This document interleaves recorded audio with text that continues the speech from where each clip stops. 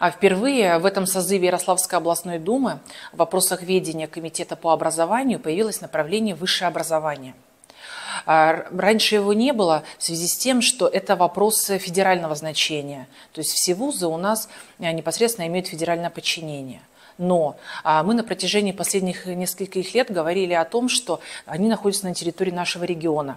Это наш кадровый потенциал. Это наши потенциальные работники наших организаций, предприятий.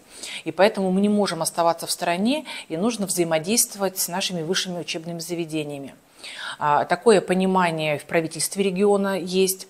И уже с этого года оказывается поддержка ряду вузов, которые действуют на территории нашей области. Э, в частности, была поддержка инфраструктурных проектов Демидовского университета, РГАТУ в Рыбинске, нашего технического университета.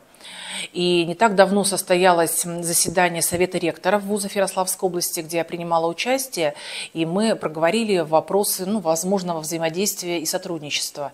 И на комитете сегодня, а, когда профильный министр докладывал, представлял эту отрасль, мы тоже договорились о взаимном сотрудничестве.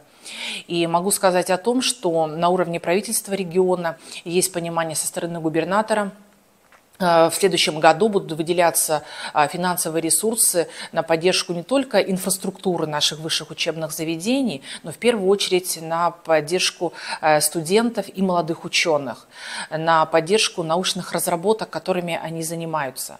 Будут выделяться специальные стипендии, и в бюджете на это предусмотрено порядка 30 миллионов рублей.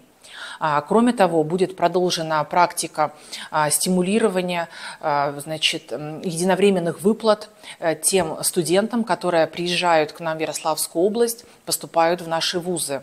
И это не только ярославские эм, ребята, но и те, кто приехали из других регионов нашей страны. Для нас э, важно, чтобы они, э, поступив, конечно, в перспективе оставались и э, стали таким настоящим, эффективным, качественным, профессиональным кадровым потенциалом нашего региона. Потому что в этом сегодня есть колоссальная потребность. Она есть и у промышленных предприятий в производстве, она есть в учреждениях социальной сферы, и образования, и культуры.